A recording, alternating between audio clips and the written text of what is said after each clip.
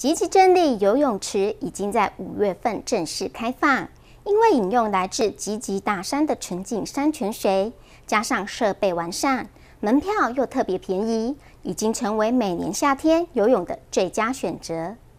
吉吉真理游泳池可说是目前南投县浊水溪沿线乡镇唯一公立的游泳池。上星期一开放，就吸引很多水里、鹿谷等乡镇居民前来游泳健身，因为水质好、设备完善。让前来游泳的民众都称赞，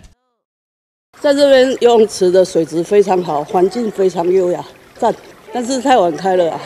可以提早一个小时会更好。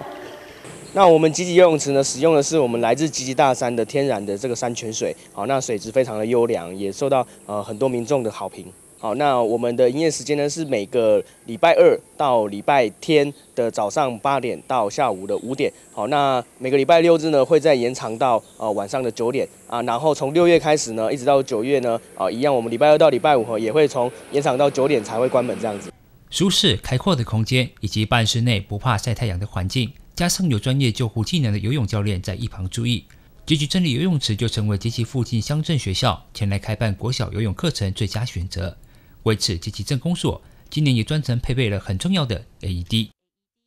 积极政工所今年呢，在积极游泳池这边呢，也增设了 AED 的装置哈。好，我们不怕一万，只怕万一哦。希望哈，借由这样的装置的增设哈，啊，那真的有意外发生的时候，可以哈做最紧急这一步的这个抢救。啊，那欢迎哈邻近的呃邻近的乡镇，包括我们水里、信义、鱼池哈。哦，鹿谷中寮哈，如果呃没有游泳池哦，或者是呃想要享受天然的山泉水的话，都可以有来到我们积极游泳池哦，啊，享受呃呃平价而且高档的享受。